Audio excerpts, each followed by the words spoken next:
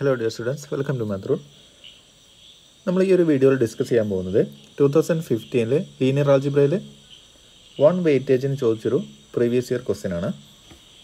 ഒരു പ്രോബ്ലമാണിത് define T from R two to R two by the rule T of X Y equal to one plus X comma Y is T a linear transformation justify your claim okay നമ്മുടെ transformation എന്താണ്?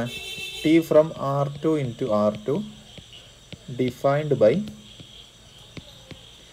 T of X comma Y Y is equal to one plus X comma Y okay ഈ ഒരു transformation linear ആണോ എന്നാണ് question okay നമ്മൾ ആദ്യം മനസ്സിലാക്കേണ്ടത് T ഒരു ലീനിയർ ട്രാൻസ്ഫോർമേഷൻ ആണെങ്കിൽ അത് സീറോനെ സീറോയിലേക്ക് മാപ്പ് ചെയ്യും.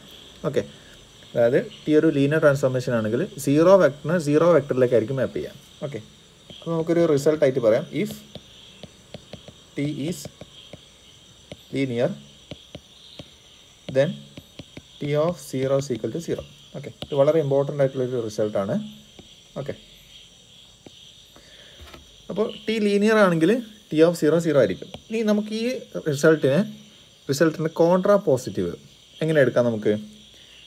ടി ഓഫ് സീറോ സീറോ അല്ല എങ്കിൽ okay if T of zero not is equal to zero which implies or then then we can say that t is not linear. Okay. ഇപ്പോൾ T of zero zero അല്ല എങ്കിൽ നമുക്ക് എന്ത് പറയാം? T linear അല്ല എന്ന് പറയാം. ഓക്കെ നമുക്ക് പറയാൻ പറ്റുന്ന കാര്യങ്ങൾ രണ്ട് കാര്യങ്ങൾ മാത്രമാണ്. ടി ലീനിയർ ആണെങ്കിൽ ടി ഓഫ് സീറോ സീറോ ആയിരിക്കും.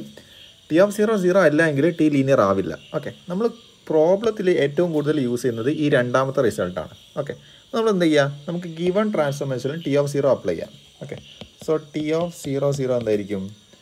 നമുക്ക് എന്തായിരിക്കും കിട്ടുക? One plus zero zero okay നമ്മൾ എന്ത് ചെയ്തു ഇവിടെ എക്സിനും വൈക്കും സീറോ കൊടുത്തു. ഓക്കെ സോ നമുക്ക് എന്ത് കിട്ടി? One plus zero comma zero that means one comma zero ഇത് സീറോ സീറോ അല്ലല്ലോ. This is not equal to zero zero that means T of zero not equal to zero ഇപ്പോൾ T of zero zero അല്ല. അപ്പോൾ അതിന്റെ meaning എന്താ? നമുക്ക് എന്ത് പറയാം? T is not linear okay which implies T is not linear okay. ഇത് വളരെ ഇമ്പോർട്ടന്റ് ആയിട്ടുള്ളൊരു റിസൾട്ടാണ് വളരെ സിമ്പിളായിട്ട് നമുക്ക് നമുക്ക് ഈ കാര്യം പ്രൂവ് ചെയ്യാൻ പറ്റും. ഓക്കെ.